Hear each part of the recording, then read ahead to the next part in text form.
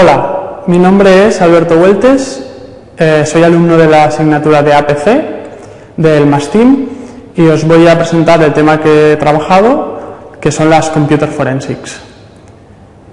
Eh, para empezar, bueno, las partes de que consta la presentación son básicamente la definición del concepto de Computer Forensics, las fases en las que se suele dividir el trabajo de un forense, eh, las técnicas que se llaman antiforenses eh, y luego un ejemplo de herramienta que se usa en, en este área para finalizar unas conclusiones. Eh, bueno, no hay mejor manera de introducir el tema de Computer Forensics que con su definición. Eh, las Computer Forensics, por definición, eh, son la disciplina que abarca la investigación de la información contenida en computadoras, así como las técnicas de análisis sobre estas con el objetivo de encontrar evidencias que puedan ser válidas en un juicio. El objetivo es llevar a cabo una, investigación estructurada, eh, siempre manteniendo una cadena de pruebas bien documentadas para averiguar con exactitud qué acciones se han llevado a cabo en un ordenador determinado y quién fue responsable de dichas acciones. Si bien a menudo se asocia esta ciencia con multitud de delitos informáticos, es cierto que puede ser utilizada en otro tipo de delitos para ayudar a resolverlos. Y bueno, el uso de las, de las computer forensics eh, es cada vez más habitual y su aceptación eh, dentro de los sistemas de justicia del mundo occidental es muy, muy elevada. Entonces, continuamos con las fases habituales en un proceso de computer forensics. Para empezar, la fase previa eh, es la identificación ¿Qué significa? Bueno, pues que hay que determinar los datos a analizar, qué datos son, en qué repositorio están, eh, hay que almacenarlos de manera segura, hay que establecer una cadena de custodia que permita demostrar que esos datos no han estado modificados y que cada vez que se haya accedido a estos se ha registrado. Siguiente paso es la recolección y preservación de las pruebas. Esto incluye determinar qué tipo de datos hay guardados y cómo acceder a ellos. Luego eh, se ha de crear una imagen de estos datos y finalmente autenticar o en otras palabras determinar si la imagen que se ha creado es idéntica a los datos originales para eh, justificar la velocidad de los mismos y normalmente esto se hace mediante hash criptográficos. Los más utilizados suelen ser el MD5 y el SHA-1. Al final, en el capítulo 4, veremos un ejemplo sobre el MD5. Tercera fase es el análisis de las pruebas, porque no solo hay que recuperar los archivos, también se ha de determinar si las pruebas eh, fueron alteradas o eliminadas o malmetidas. Entonces, en este análisis eh, se incluye la búsqueda de palabras clave, la búsqueda de fechas clave, la búsqueda de copias de borradores de documentos anteriores, eh, se busca autentificar las marcas de tiempo de los archivos, se compara y se contrasta el código eh, para ver si el programa es original o copiado, etcétera. Luego tenemos las técnicas antiforenses, ¿no? porque en ocasiones aquellos que quieren ocultar las acciones cometidas sobre los datos almacenados en un ordenador pueden eh, recurrir a un conjunto de técnicas para evitar que, que, se descubran estas, estas acciones sobre los datos.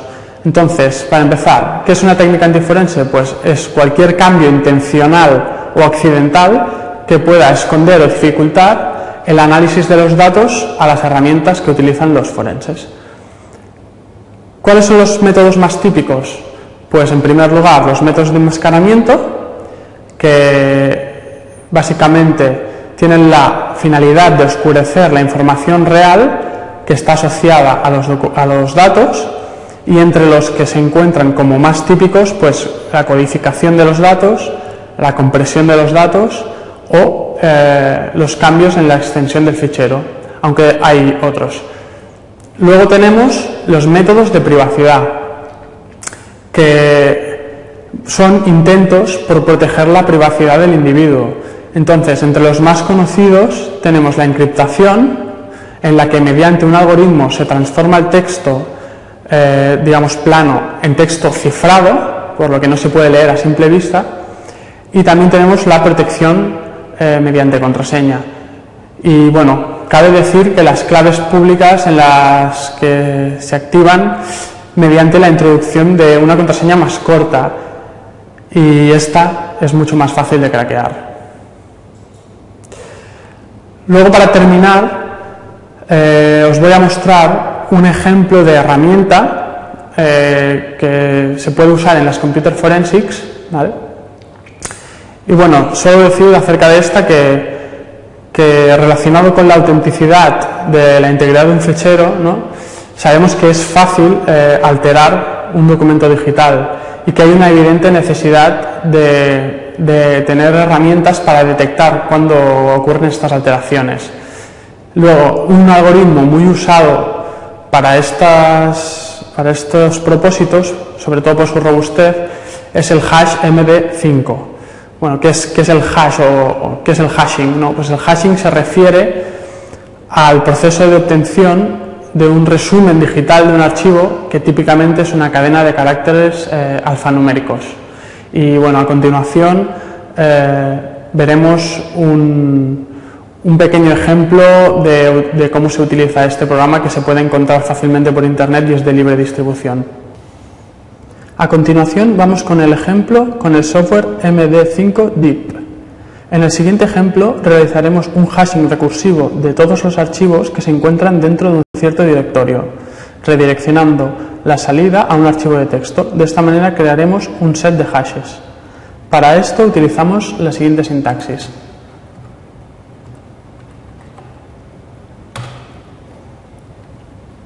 Vemos cómo se ha creado el set de hashes, hash bin, entonces, lo que vamos a hacer es eh, comprobar que eh, es capaz de reconocer el hash de un archivo en concreto, en este caso un PDF, eh, de digamos de entre una lista de archivos diversos. Entonces, para hacer esto, utilizamos el siguiente para hacer esto utilizaremos el siguiente comando. Entonces, en la carpeta 2 veremos si es capaz de distinguir eh, el archivo Computer Forensics de entre todos estos PDFs, eh, solo contrastando esta información con la que contiene el set de hashes que hemos creado. Como podemos ver, eh, ha detectado que hay un archivo en esta carpeta cuyo hash coincide con uno de los del set de hashes creado. La utilidad de este software eh, va ligada a la finalidad de calcular el hash del archivo y no es otra que identificarlo de manera única para asegurar su integridad. Además, este programa permite hacer comprobaciones con listas extensas de archivos, facilitando una tarea que de otro modo podría comportar un coste muy elevado en tiempo y esfuerzo. Eh, hasta aquí el ejemplo. Bueno, para finalizar, algunas conclusiones. Sabemos que el auge de las redes de comunicaciones, en particular de Internet, ha abierto nuevas posibilidades para el intercambio de información. Con estas también han aparecido mayores amenazas.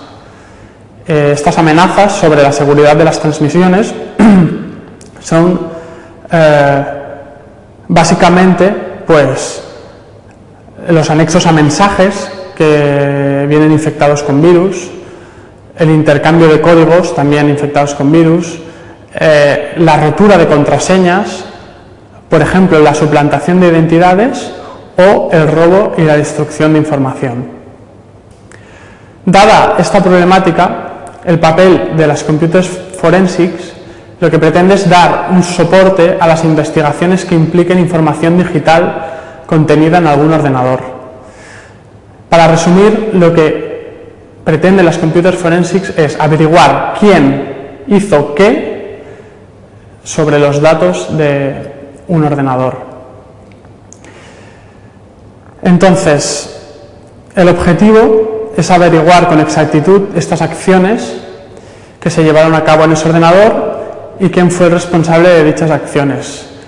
Porque esto puede ser usado como prueba durante un juicio, eh, ya hemos dicho, de cualquier naturaleza, no solo sobre, sobre delitos informáticos. Entonces, sabemos que actualmente existen muchas herramientas disponibles para facilitar este, estas tareas y, sobre todo, como, como punto importante, eh, ver que surge un cierto conflicto entre la privacidad del usuario y la detección de las evidencias eh, cuando se intenta investigar sobre un delito, porque muchas veces eh, podemos estar sobrepasando la línea entre cuando invadimos la privacidad del usuario o cuando estamos haciendo el trabajo estrictamente para recabar información. Y bueno, eh, después de estas conclusiones, pues esto es todo. Eh, gracias por, por vuestra atención y espero que os haya parecido interesante.